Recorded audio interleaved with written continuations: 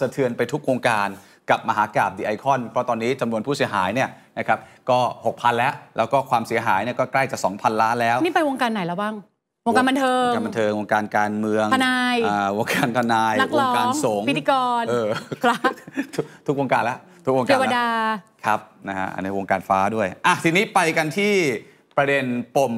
ไร่เชิญตะวันของท่านววัชระเมธีที่เสียงก็ค่อนข้างแตกนะ ตอนนี้ต้องยอมรับว่าท่านวน่าจะยังไม่กลับมา จากต่างประเทศ แต่ก็ถูกวิพากษ์วิจารณ์ค่อนข้างเยอะ เสร็จแล้วมันก็ลามไปจนถึงพื้นที่ของท่านนะครับที่ใช้เป็นศูนย์ปฏิบัติธรรมมาอย่างยาวนานหลายปี ว่าเอ๊ะสุดท้ายมันลุกล้ำเขตป่าสงวน หรือว่าใช้ไปเกินกว่าที่มีการทำเรื่องร้องขอไว้ไหมนะครับล่าสุดนะครับทางคุณชีวภาพชีวธรรม ประธานคณะกรรมการทรัพยากรธรรมชาติ และสิ่งแวดล้อมของที่สภา ก็คือกรมทของสวเนี่ยนะครับในฐานะที่ท่านเป็นอดีตรองอธิบดีกรมป่าไม้ และก็เป็นอดีตหัวหน้าชุดปฏิบัติการพยัคฆ์ไพร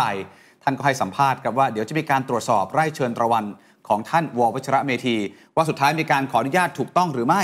เรารับรู้รับทราบว่าที่ดินดังกล่าวอยู่ในเขตป่าสงวนแห่งชาติ เท่าที่ทราบจากการสอบถาม ก็มีการขออนุญาตใช้ประโยชน์ตามระเบียบของกรมป่าไม้จริง แต่คนที่อนุญาตอาจจะเป็นหน่วยงานจังหวัด เนื่องจากกรมป่าไม้มอบอำนาจให้ทางจังหวัดเป็นผู้พิจารณา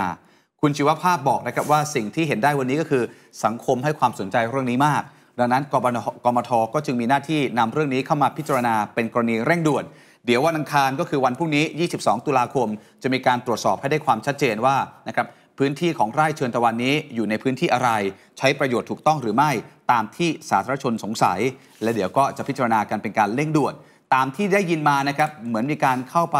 ขอใช้งานจาก 3 หน่วยงานที่เกี่ยวข้องขอไปร้อยกว่าไร่ ก็ต้องไปดูพิกัดว่าอยู่ตรงไหนสมเหตุสมผลไหม เพราะมันเป็นเรื่องละเอียดอ่อน สมมติขอไป 5 แต่ทำเกินไป 10 ก็ต้องไปตรวจสอบ เรื่องการตรวจไม่ยาก เพราะว่าในระบบตัวนี้เขาตรวจได้ง่ายแล้วว่า ใช้ประโยชน์จากพื้นที่จริงขนาดไหน ก็ขอดูรายละเอียดก่อนอะว่ามันคลาดเคลื่อนไปมากน้อยแค่ไหน แต่คือต้องยอมรับนิดนึงว่าพื้นที่ที่เป็น นะครับพื้นที่ที่ถูกใช้ในทางพุทธศาสนาในบ้านเราหลายพื้นที่ก็อยู่ในเขตป่าสงวนนะค่ะแกแต่ก็น่าสนใจว่าคือช่วงเนี้ยเพิ่งมีประเด็นของท่านวอครับแล้วมันก็เลยตอนนี้ลุกลามบานปลายไปที่ไร่เชิญตะวัน เอ๊ะเราว่ามีการใช้พื้นที่เกินหรือเปล่าจะไปตรวจสอบหรือเปล่ามันก็คือต้องมีเรื่องก่อนครับถึงมีการตรวจสอบเรื่องนี้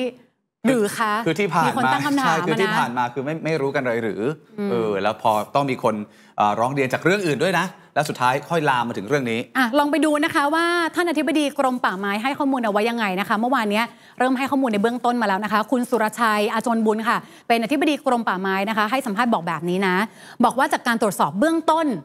พบว่าไร่เชิญตะวันเนี่ยขออนุญาตเนี่ยก่อสร้าง 113 ไร่ แล้วสำนักพุทธศาสนาขอใช้อีก 30 ไร่รวมทั้งหมดเนี่ยคือขอใช้เนี่ย143 ไร่ แต่มีการใช้พื้นที่จริง 190 ไร่ ลบกัน 190 ลบ 143 แปลว่าเหมือนตอนนี้ใช้เกินอยู่ 47 ไร่หรือเปล่า ก็เลยเดี๋ยววันนี้ค่ะ ทางท่านอธิบดีนะคะ บอกว่าจะให้ทางป่าไม้จังหวัดเชียงรายเนี่ยเข้าไปที่ไร่จันตะวันนะ ไปรังวัดอ่าไปรังวัดตรวจสอบว่าการใช้พื้นที่ป่าดอยตุงเนี่ย เกินจากที่ขออนุญาตไว้ไหมทางท่านอธิบดีกรมป่าไม้บอกด้วยนะคะว่า ได้มีการขออนุญาตใช้พื้นที่ในปี 66 อันนี้งงนะ ปี 6 คือปีที่แล้วเหรอครับเออทำไมถึงเป็นปีที่แล้วเออเพิ่งขอคือส่วนเรไหนหรือยังไงนะคะ เพราะว่าไร่เชนตะวันเปิดมานานแล้วนี่นาครับเดี๋ยวรอตรวจสอบข้อเท็จจริงด้วยนะคะ ทีนี้ท่านทิพย์เดียวบอกว่าบอกว่าก็ต้องตรวจว่า มีการใช้ประโยชน์ในพื้นที่ตรงตามที่ขอไหม ถ้าพบว่ารุกป่าเกินไปเป็นมูลนิธิใช้ประโยชน์ก็จะดำเนินการ อันนี้จะเป็นกับมาตรฐานเดียวกันนะคะจำได้นะคะคุณผู้ชม วัดใหญ่บนเขานาคเกิดจังหวัดภูเก็ตอะตอนนั้นที่มีเหตุการณ์ดินถล่มและมีคนเสียชีวิต อันนั้นน่ะก็เป็นเคสที่ต้องยึดพื้นที่คืน แล้วก็เอามาปลูกป่า คือถ้าผิดจริงเนี่ยจะมีการแจ้งความผิดฐานบุกรุกพื้นที่ป่าสงวนแห่งชาติ แล้วถ้าได้กระทำเกิน 25 ไร่ โทษนะคะ โทษจำคุกตั้งแต่ 4 ถึง 20 ปี และปรับตั้งแต่ 2 0 0 0 0 0ถึง 2 ล้านบาท นักข่าวถามท่านอธิบดีค่ะ แบบนี้ถึงเวลาหรือยังคะ ที่จะต้องจัดระเบียบวัดที่ขอใช้พื้นที่ป่าสงวนแห่งชาติ ทุกครั้งที่เป็นข่าวอะมันก็จะมีการก็จัดระเบียบทีเออแบบเออจัดระเบียบไหมแบบไปสำรวจทั่วประเทศไหมอะไรแบบเนี้ยก็เป็นคำถามนี้เหมือนกัน ท่านอธิบดีก็บอกว่า เนื่องจากการขออนุญาตใช้พื้นที่วัดเพื่อประโยชน์ในพระพุทธศาสนาเนี่ย มีคณะกรรมการ